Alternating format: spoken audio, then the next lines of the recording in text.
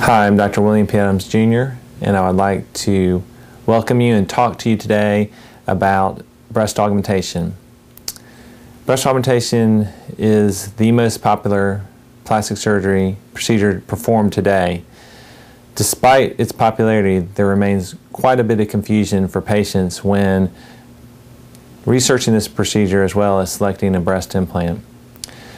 In order to give patients optimal results, both short term and long term, it is very important that certain principles are adhered to during the breast augmentation process. When picking a breast implant, much like buying a shoe, very similarly, using objective measures, we must find an implant that fits the breast. When you do this, this will provide patients not only with the best cosmetic result, but also the safest and best long term results with that procedure.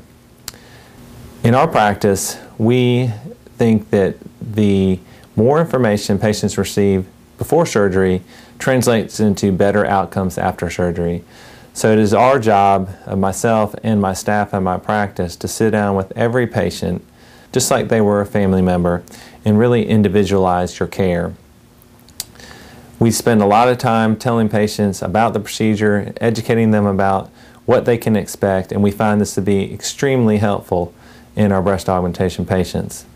Following this, we do a, an, a very brief but objective assessment of the breast where we can assess the dimensions of the breast and the breast tissues, and this allows us to really allow patients to obtain their optimal results.